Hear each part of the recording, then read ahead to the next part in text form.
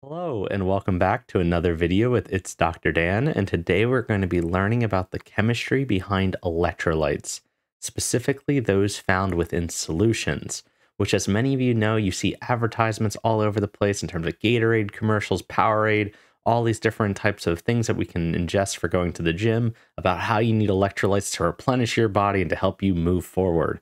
Well, really, what exactly are they? Well, when it comes to electrolytes, the whole idea is that they are different salts that we have in our body. So if you think of salts, think of like table salt that you have at home, sodium chloride, right? Where you have sodium and you also have chlorine ions all bound together. And one thing about that is, well, if you ingest salt, well, is it going to still exist as a crystal? Well, if you were to throw salt in water, what happens to it? So last time you made rice or pasta at home, did it sit there and stay in its crystalline form? And one thing you can imagine is all the little water molecules all around in that glass of water are going to start surrounding those ions. They're attracted because waters, as you can imagine, have a partial positive, partial negative side. They're going to be attracted to all these little ions. Now, when you get enough of them, they work together through ion dipole forces to break these molecules apart or and break these compounds apart into their individual ions. So they'll surround and conquer them. So when it comes to different ionic compounds, we're always interested in trying to figure out exactly how are they dissociating, meaning how are they breaking apart? One thing turns into two. So breaking apart. So these electrolytes is really the thing that's going to be the focus of this video especially when we're looking in solutions. And just as a little bit of a reminder, what are they? Solutions are anytime you have a homogeneous mixture. So, one example of that is if you look around you, right? The air that you mm-hmm. can't really see, that is a homogeneous mixture, being that the solvent is nitrogen and your solute is oxygen. So, the solute is the minor component, the solvent is the major component. Another example is if you go back to salt and water above, right? The salt is the solute that we had in solution. And this aqueous tells you, hey, that you have water as your solvent and it's dissolving all these ions that are in solution to help them break apart. So let's take a look at what these electrolytes are all about, how we can label them and learn the different types of them, and how you can identify them in your chemistry course.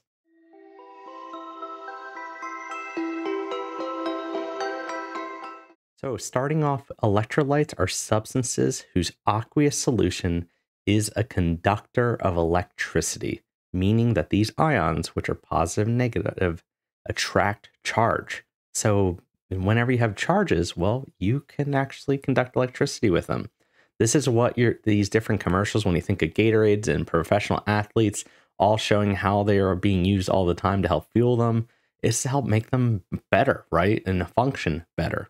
Electrolytes are something that's essential for your body to function. There are many different types of them. Because what they do is inside of your actual bloodstream and around your cells, they cause different chemical electros and electrostatic gradients within the cells to help cause different ions to flow, causing ATP to be generated, which helps your body move. And that's very, very important. So, to label them, the first type, there are three overall. The first one is strong electrolytes. So when you think of strong, think of really, really, really muscular. The way that we label these is that these are all ionic compounds, meaning that they will dissolve and they will dissociate into ions. So what we, the way we label ionic compounds is all of them are referred to as strong electrolytes. And that's because ionic compounds will dissolve in water due to ion dipole forces. So whenever we are labeling these, the way to remember is all ionic, strong acids, strong bases are all considered to be strong electrolytes because they all can be broken apart about by water. And you might be like, wait a minute, Dr. Dan, what about solubility rules? Is aren't some of them considered to be insoluble? And that's true. Some of them are insoluble. But even though they are labeled as insoluble, the very, very, very, very tiny percentage of them do break apart into ions and they're still labeled as strong electrolytes. We might not show them in a chemical equation, but you still could label it as a strong electrolyte. So these are a little bit easier than having to work with solubility tables and all those other different methods. Let's look at the next type weak electrolytes. So, weak electrolytes are whenever a very small percentage of the molecules in water they are dissolved by the solvent. However, they don't all dissociate. They don't all break apart into their ions. In fact, a very small percentage of them do. So all of them are soluble, they're all polar, but some of them will most of them will stay as their their actual molecular form or as covalent molecules. So when these are exist, you'll have very few ions. We're talking like 0.1 to 5% of them will actually dissociate. Now, way that we can label weak electrolytes for, for easy context for this course and for introductory chemistry is that it's all the weak acids and weak bases are considered to be weak electrolytes. So, how do you exactly know when it's weak a weak acid versus a weak base? Well, for you guys, there is a list of strong acids and bases that you can find on the green sheet. And if you're someone that's watching this video that's not in my course, then there is a video on this sheet. It's called the green sheet. It's our solubility video. Take a look at it so you can find out more. So if you are actually looking at looking at this thing, there is a list of strong acids and strong bases. Find it for yourself so that you can take a look at it. In fact, it's something that you have seen before. Now, with all that list, all of those ones are strong electrolytes. So if it's not on that list as a weak acid or base, that is going to be a weak electrolyte. So if it's not on the list, that is a weak electrolyte. And as a hint to remember, okay, well, what's an acid, what's a base? If it has an H in the front of the formula, then it's an acid. If there's an OH in the back, then that's considered to be a base. So remember that order when we're trying to look at those different pieces so we can keep them all straight.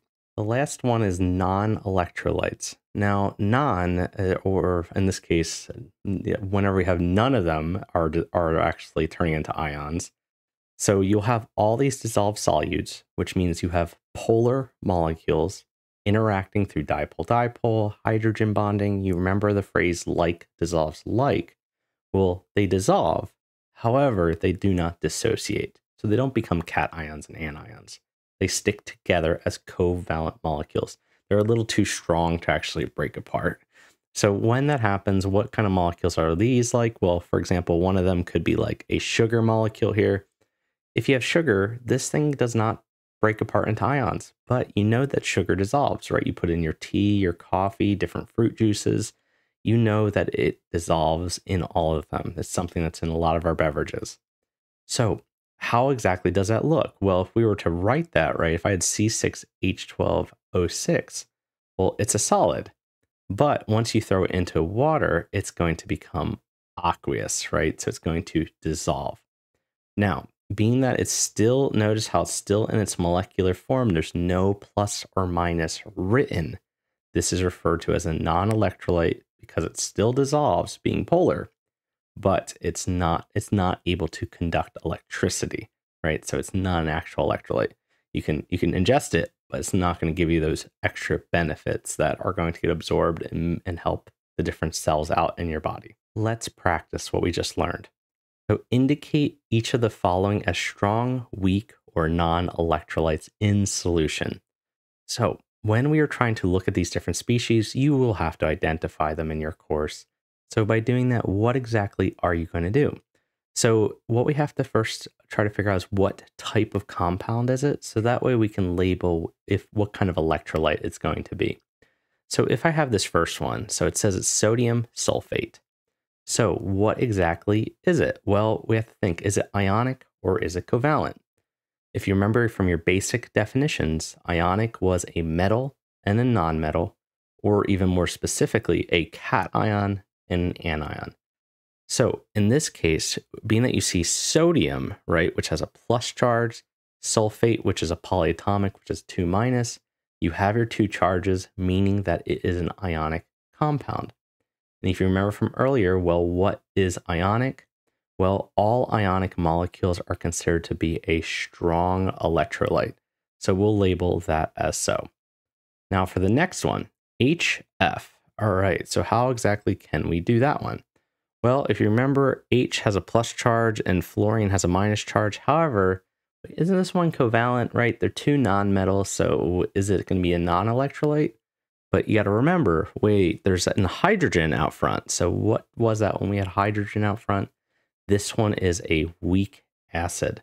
So weak acids, because it's not on your strong acid list. The strong acids are HCl, HNO3, sulfuric acid, uh, chloric, chloric acid, iodic acid, bromic acid, and so forth. This is not one of them. So what does that mean being it's a weak acid? It's going to therefore be a weak electrolyte. So we'll put weak here. The next one, ammonium nitrate. So how can we label that? Well, I remember that nitrate is a polyatomic. Well, what about ammonium? Well, ammonium is also one of our polyatomics. It's in fact the only positive polyatomic. We see it's balanced, everything looks good. So that means it's ionic. Therefore, what does that tell you about it? That it's going to be a strong electrolyte as a result. Going to our next one, calcium hydroxide. Okay, hydroxide. So whenever we see that hydroxide, we have to remember base.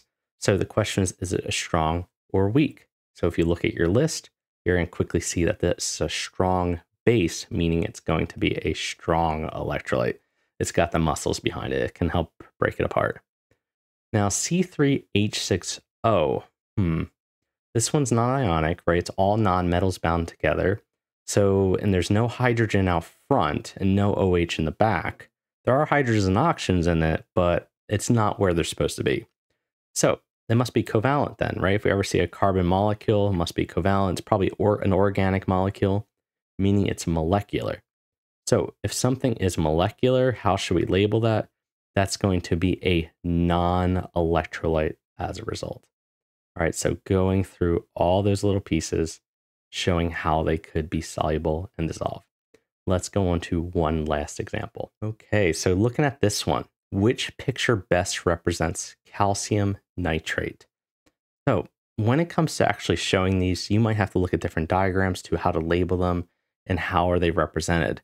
Well, when we're doing that, we have to realize how are they actually dissolving when you put them into solutions. So these are your solubility equations coming to play.